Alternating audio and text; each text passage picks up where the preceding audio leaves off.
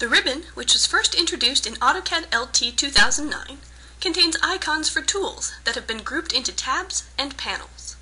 Each tab, such as Home, contains multiple panels, and each panel, such as Modify, contains multiple tools.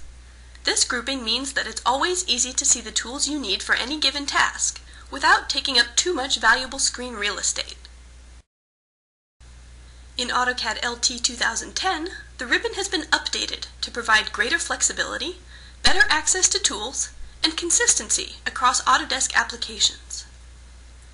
When you drag a panel off the ribbon, it becomes a sticky panel. Sticky panels remain displayed even when a different tab is active.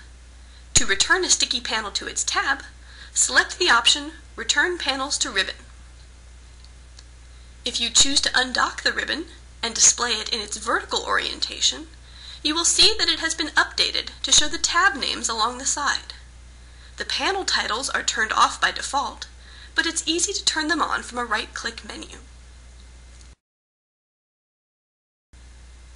If you customized the dashboard in AutoCAD LT 2008, you can easily convert your custom dashboard panels to ribbon panels using the Transfer tab of the CUI editor.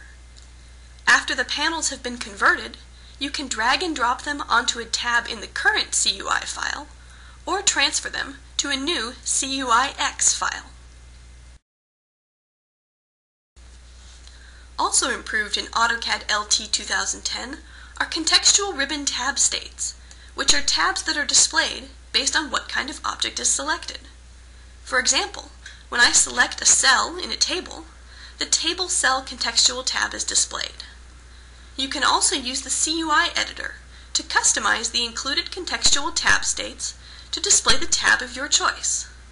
For example, if you want the Home tab to be displayed when a circle is selected, drag and drop the Home 2D Ribbon tab to the Circle Selected item under Ribbon Contextual tab states.